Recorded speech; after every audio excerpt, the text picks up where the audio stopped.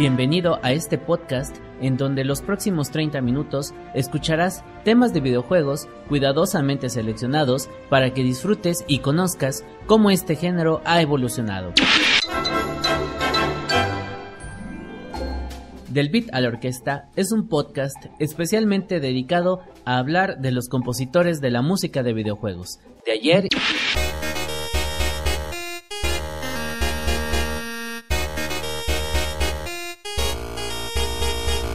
de hoy.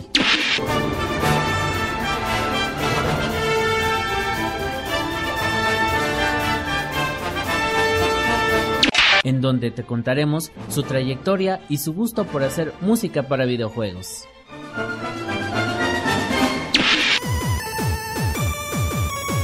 También conoce qué es lo que se está haciendo en nuestro país sobre la composición de música de este género y otras corrientes experimentales que giran alrededor de los videojuegos.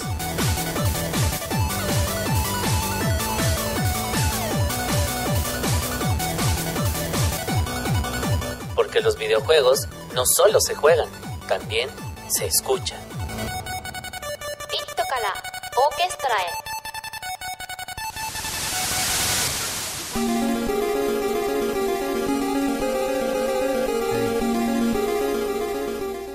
Bienvenidos a un capítulo más de su podcast de música de videojuegos del Vita la Orquesta en el capítulo número 61 de nuestra cuarta temporada y al tercer eh, capítulo correspondiente a nuestra eh, cuarta temporada. Eh, hoy no hubo introducción de Colectivo Chipotle, estamos preparando más material, estamos preparando más propuestas también que nos acaban de llegar, entonces vamos a guardarlas un poquito y pues vamos a entrar directamente con nuestro capítulo de hoy. Entonces nos presentamos de mi lado derecho, ahora sí, presente. Presente. la señorita Maizan.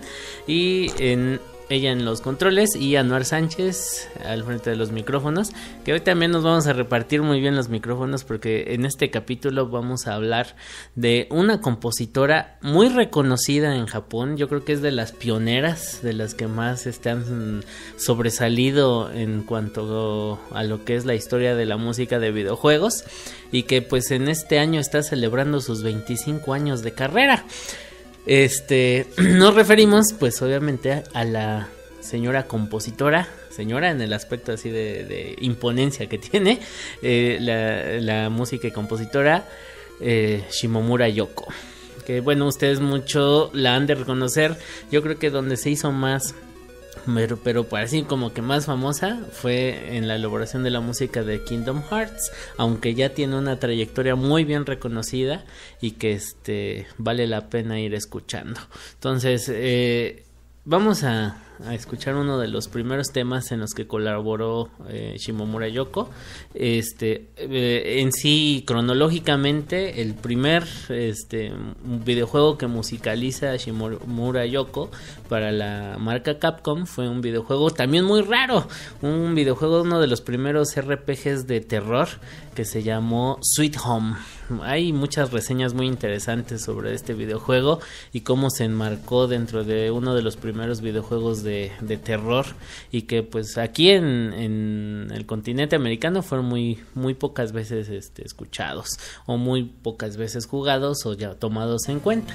Pero bueno, de hecho lo que estamos escuchando de fondo es el soundtrack de, la, de la música del videojuego Sweet Home, contenido en una colección de Games on Music la Box 1500, una producción que comprende muchas pistas de los primeros videojuegos por ahí de los años 80.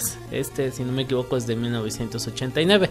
Es allí donde Shimomura Yoko hace su primera aparición y pues este ahí empieza su carrera como música compositora de videojuegos. Incluso, bueno, haciendo mención un poquito de la biografía de ella en Wikipedia.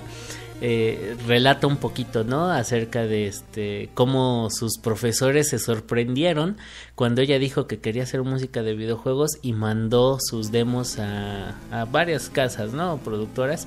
Me imagino que por ahí estaba este Enix, me imagino que estaba este en aquel entonces cuáles eran las más fuertes pues Enix este Namco, este Capcom Capcom Konami también y pues recibiendo solamente propuesta de Capcom para pues escucharla y, y pues ofrecerle, ¿no? Sus, su primer chamba, ¿no? Que fue esta de, de este Sweet Home. Posteriormente ya hizo algo más reconocido que fue Street Fighter.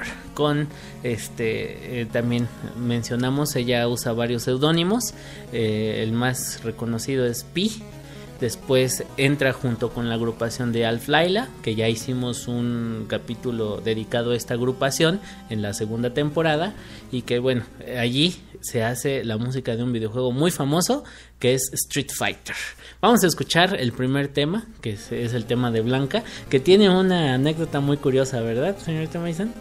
Vamos a comentarla regresando este, de escuchar el tema. Ok.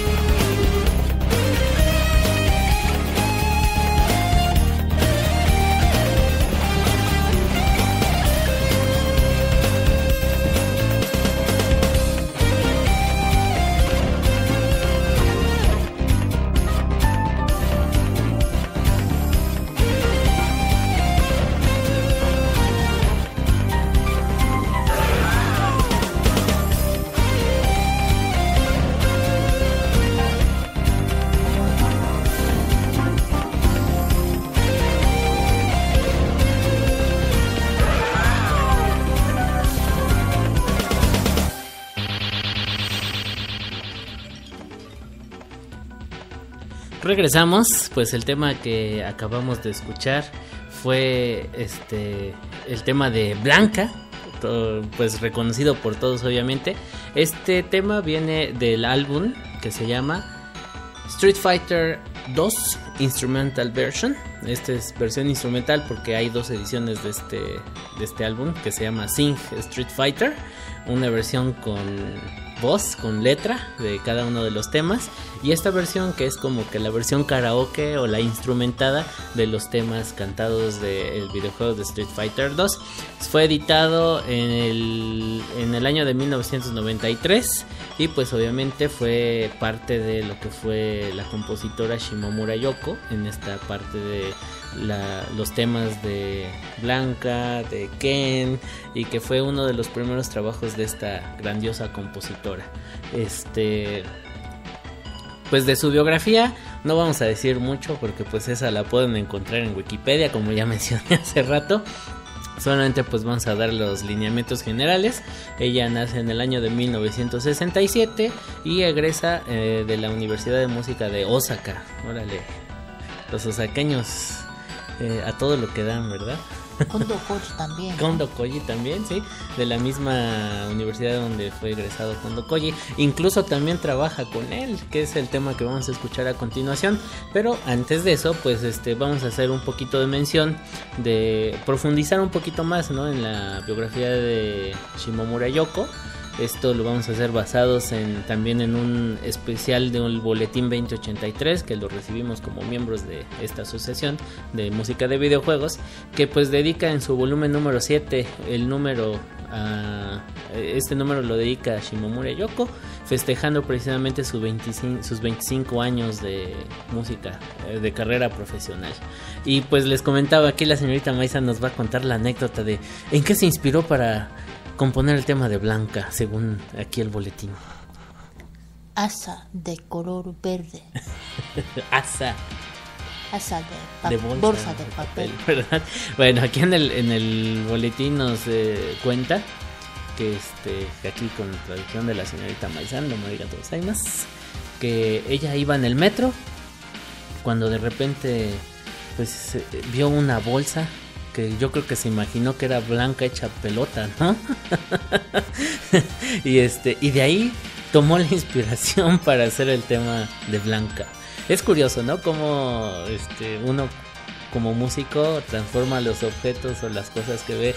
Por eso de ahí dicen que de cuál fumaste, no sé. Pero así funciona el talento, ¿no? De los compositores generalmente. Este, de cosas totalmente abstractas este, surgen temas muy interesantes y a veces muy famosos, ¿no? Entonces, este, es parte de lo que aquí relata el, boletín, muy, muy, muy curioso. Pero, pues, ¿qué más nos cuenta el boletín acerca de Shimomura Yoko, señorita Maizama? Bueno, este boletín versión volumen 7 este, enfocó en Shimomura Yoko, este, festejando yo creo que 25 aniversario de su carrera. Y aquí, este, pues, como su vida de compositora o más bien cómo entró al mundo del música, como música. Y tal, tal, tal, con entre, como estilo de entrevista. Aquí hay unas como reseñas de biografías mm, muy interesante que ahorita las vamos a ir este, mencionando más adelante. Mientras pues vamos a escuchar el segundo tema, si no se nos va el tiempo. El segundo tema está inspirado o más bien está extraído de su última producción. Eh, bueno, más bien su último, sí, su última producción discográfica que más bien es como un compilado, es la segunda parte que se llama Memoria. Este eh, álbum eh, acaba de salir, eh, recientemente salió en, 2014 y el tema que vamos a escuchar es de este álbum que pertenece a un videojuego que se llama Mario RPG y este Super Mario RPG y el tema se llama Beware the Forest Mushroom.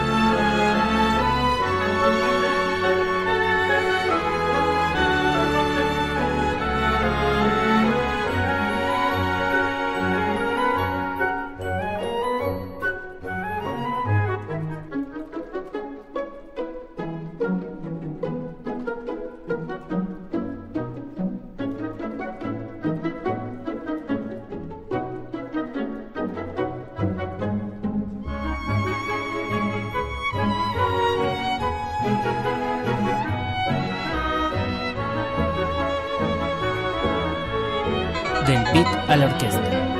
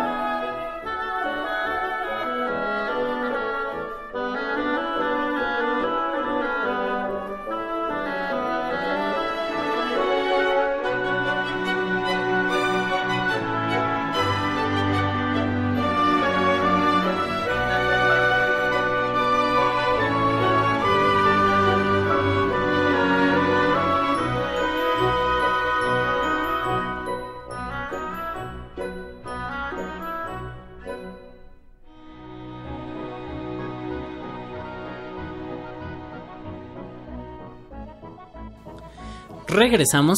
El tema que acabamos de escuchar fue Beware the Forest Mushroom, contenido en, su última producción de, Yoko Shimomura, que se llama Memoria de este año del 2014 originalmente este este álbum eh, pues recopila de su material no este material que fue editado en varios videojuegos. Este obviamente correspondió al videojuego de Super Mario RPG Original Sound Version. De ahí fue extraído y fue arreglado para orquesta. Qué es lo que destacan estas dos últimas producciones de Shimomura Yoko eh, anteriormente a Memoria eh, se editó Dramática el año pasado precisamente. Justamente sale un año exactamente después de esta segunda compilación.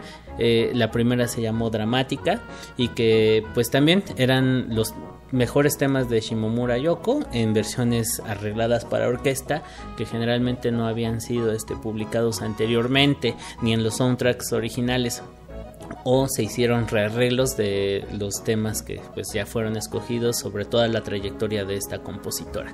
Entonces este pues vamos a darle un poquito de velocidad a esto si no nos gana el tiempo. Eh, ya ahorita escuchamos dos de sus producciones más este como les diré más este pues más antiguas no este o de, de mayor relevancia. Vámonos con otra producción muy famosa que seguramente muchos de nosotros de la generación de ahí de que vivimos el PlayStation vivimos de un clásico también ya Parasite no tengo que decir mucho. Eh, vamos a escuchar el tema de Aya. Este tema este, en una versión no escuchada que es de piano solo y que es solamente contenida en el álbum de Memoria, su última producción.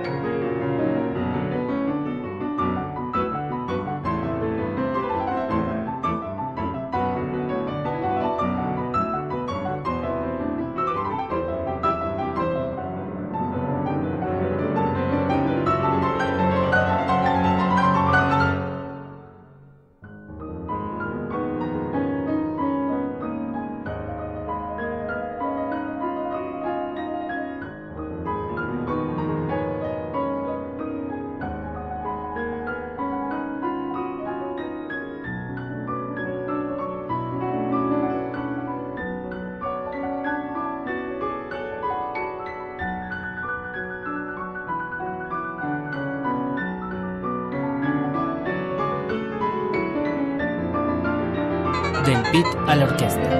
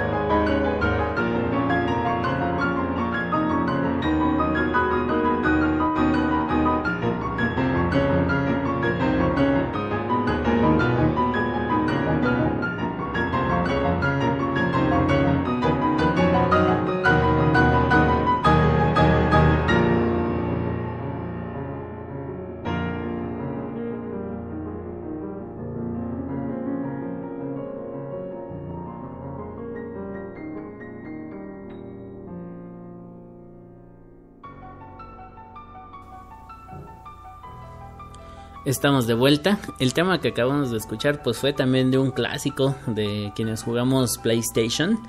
¿Quién no recuerda esa área de obertura en el videojuego de Parasitive?